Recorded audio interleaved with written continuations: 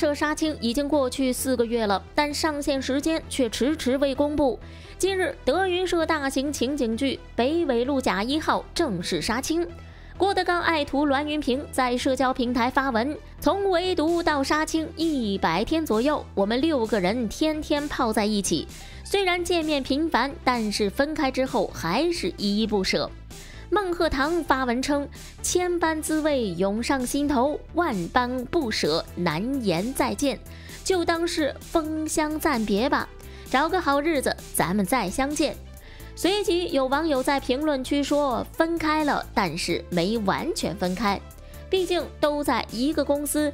虽然有时演出不常见，但是总会遇到的。”《北纬路甲一号》这部剧由郭德纲、韩志杰担任总监制，讲述了德云社发展初期的故事。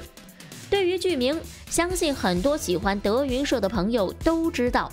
北纬路甲一号是北京德云社的大本营所在地，德云社正是从这个地方一步一步发展起来的。这部剧的故事将围绕北纬路上一个名不见经传的相声社团万春社展开。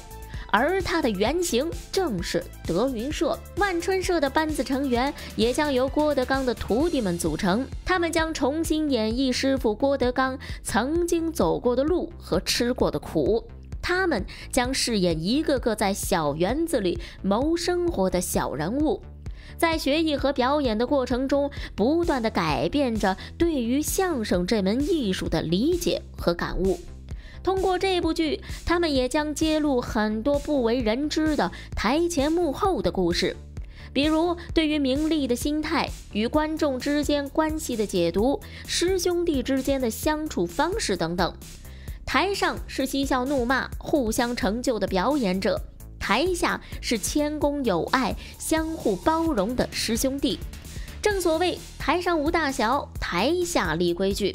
大家在相互成就的过程中，也逐渐领悟到了相声的魅力。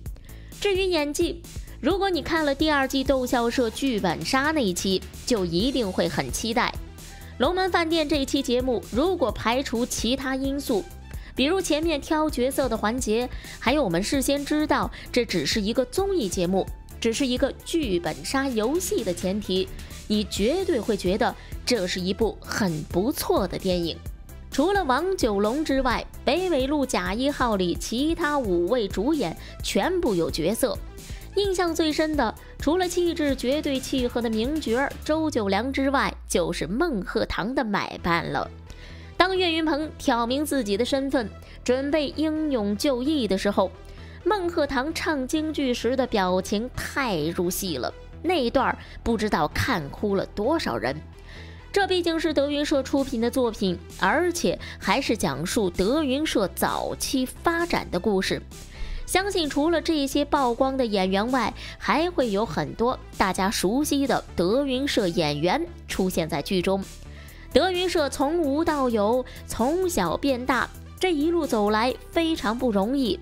关于德云社的故事，我们都听过很多。他们光鲜亮丽的外表下，也经历了无数的辛酸和汗水。